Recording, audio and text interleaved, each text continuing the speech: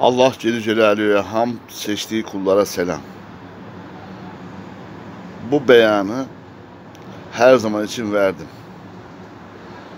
Ben Allahu Teala'ya yalan yere vahiy isnadı yapıyorsam, Allahu Teala bana vahyetti dediysem ya doğruyumdur ya da cehennem cehennemin dibini boylamışımdır. Yani iki türlü şey var. Ama benim bulunduğum durum nüvvet kemalatını israr ve ispat babında. İsmaila cemaati bu kemalatı görmezden geliyor. Ümmetin ömrü 1500'de bitiyor. Mehdi'ye illa illa Hatemi Veli şeyi veriyorlar. Mektubat-ı Rabbani 534. mektupta Mehdi'nin ehli nüvvet olduğu açık ve sarih bir şekilde ortaya konmuş İmam-ı Rabbani tarafından. Hal böyle olduğu halde İsmail Ağa gibi ilimle iştigal edip insanlara e, bu dini tebliğ ediyoruz diye övünen, kıvanan İsmail Ağa hocaları bu zatın ortaya koyduğu bazı meselelerde çok güzel dansöz elbiselerini giyip kıvır kıvır kıvırabiliyorlar. Mesela İsmail Hünerlici hocanız çok güzel kalça atıyor. Vahiy vahiy kesildi diyen kafir olduğu olur iştihadımıza karşılık Allahu Teala'nın kelamları tükenmez ayetine ayetini ilmi tükenmez diye e, değiştiriyor. Yani sonuçta ayet değiştiriyor. Hani bunu bunu alıp oraya koysak olur mu? Bunun meslede sebebi ne olabilir? Küfürdür. Yani bunun kıyısı köşesi yok. Orada kelam iyi geçiyorsa kelamları bitmez diyeceksin. Allahu Teala dilediğine kelamını, vahyini işit, işittirdiğini, işittirdiğini, dilediğine vahyedeceğini Kur'an-ı Kerim'de bildiriyor. Resulullah sallallahu aleyhi ve sellem nüvvet üzere ilafet geleceğini Mehdi'nin yani yanıltacak şey şu olmasın. Mehdi, Hatemi, Nebi değil. Hatemi veli olduğunu söylemekteki gayeler şimdi yine yanlış anlayacaklar. Şüphesiz ki Hatemi Nebi değil. Resulullah sallallahu aleyhi ve sellem Nebilerin mührüdür. En üstünüdür. Yani e, nuru Muhammedi her nebi ve resul zamanında zamanında kendi zamanlarında Muhammed'i nuru Muhammed'i temsil etmişlerdir. Resulullah sallallahu aleyhi ve sellem onu en üst safhada temsil edip nuru Ahmediye'ye, Allahu Teala'ya Teala'ya yakınlıkta en üst safhaya çıkmıştır Resulullah sallallahu aleyhi ve sellem.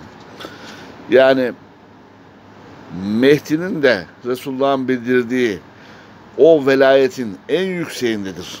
Sözü şunda karar kılar. Mehdi, Mehdi'nin ahirete taalluk eden ahirete taalluk eden makamının yüksekliği o velayetin en yükseğindedir. Nasıl yüksektedir? Nebi ver, nebiler ve Resuller gibi. Mektubat-ı Rabbani'de şöyle geçer. Nüvvet kemaatine sahip olmak için velayetin de aslında sahip olmak gerekir. İşte bu duruma işareten Resulullah sallallahu aleyhi ve sellem ahiretteki makamını gördüğü ve bildiği için onun Resulullah sallallahu aleyhi ve sellem onun üstünlüğüne yani Mehdi'nin üstünlüğüne işaret etmiştir. Hazreti Ömer Ebu Bekir radıyallahu soruluyor. Ömer Mehdi Ömer'den ve senden üstün müdür diye. Resulullah şey Hazreti Ebu Bekir radıyallahu buyuruyor ki o birçok nebiden de üstündür. Nebiden de. Niye bu üstünlük? Niyedir? Mehdi Muhammed'in nübüvvet sahibidir. Buna işareten bir hadis-i şerifte Resulullah sallallahu aleyhi ve sellem buyuruyor ki insanların en cömerti ve en sahisi benim.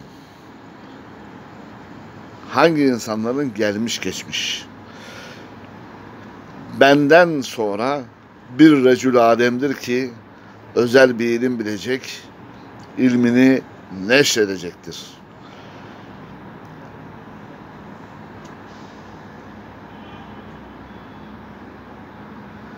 Bu neşretme bir de devamında şöyle diyor.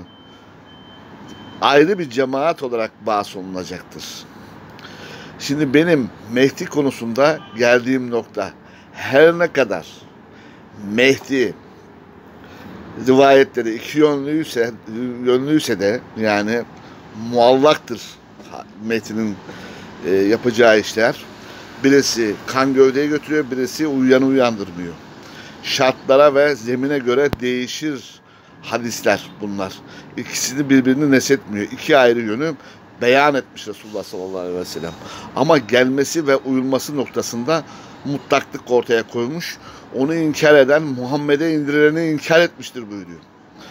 Bundaki şey de Kur'an-ı Kadim'de bildirilme olayı İbn Sayyad hadisi İbn Sayyad hadisinin işaret ettiği göğsünde Duhan 10 suresinin saklaması Duhan 10 ve sonrasında gelecek Resulün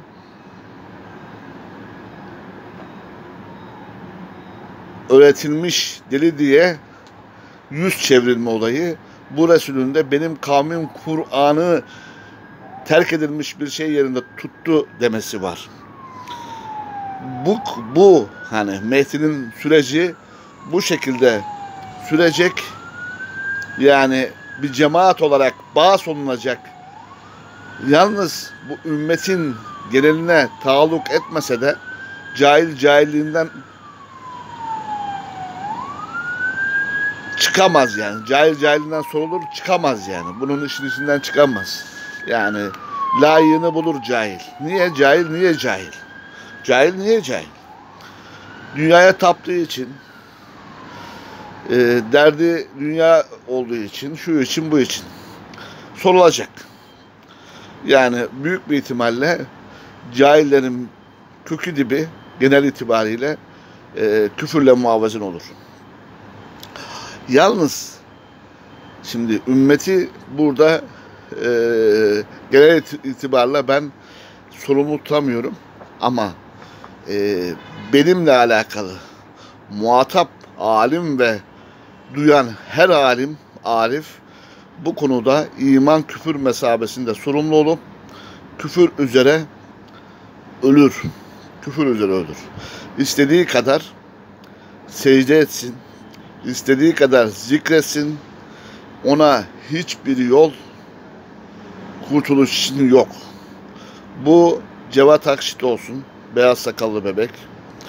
Bu Hünerlice olsun. Bu Ali Kara olsun ki Ali Kara bu e, işin ehemmiyetini, durumunu duruma binaen şöyle söyledi. Biz açıklayıcı Resul'e itaat etmek mecburiyetinde değiliz dedi. Açıklayıcı Resul'e. Ben yeni bir nübüvvet ağacı değilim. Muhammedi nübüvvet ağacının bir ışkını hükmündeyim. Benimle alakalı yanlış yapılan ilk şey sen Arapça bir konu hakkında muhavezene olamazsın. Yani bir tartışmada konuşamazsın ki. Demek aynen küfürdür. İbrahim 4. Biz elçileri Resul, kavimlerin dilleri üzere gönderdik. Bu hatayı Ali Kara'nız yaptı. Dedim ki Ali Kara sen bari uyan Mehdi 534. Gör, mektuba göre el nübettir. Sen el nübet bir zata diyorsun ki Arapça bilmen lazım. Allahu Teala kavimlerin dilleri üzere gönderdiğini buyuruyor. Bunun geldiği nokta hani küfürden kurtulacak ya açıklayıcı bir Resul'e uymamak gibi bir saplantıya girdi ama göremedi. Biz elçilerin arasını ayırmayız. Ayetinin karşısına dikildi. Yani kısaca kafir oldu gitti. Şimdi gelse de size işin işler acısı durumunu arz etse büyük bir yanlıştan sizi döndürse. Döndürebilir mi? Bu Allah'ın fazlıdır. Dilediğine verir. Allah büyük fazlın sahibidir. Allahu Teala bir kişi, bir aile, bir sülale, bir aşiret, bir kavim, bir millet hakikati, doğruyu, hidayeti dilemedikçe zorla hidayet etmez.''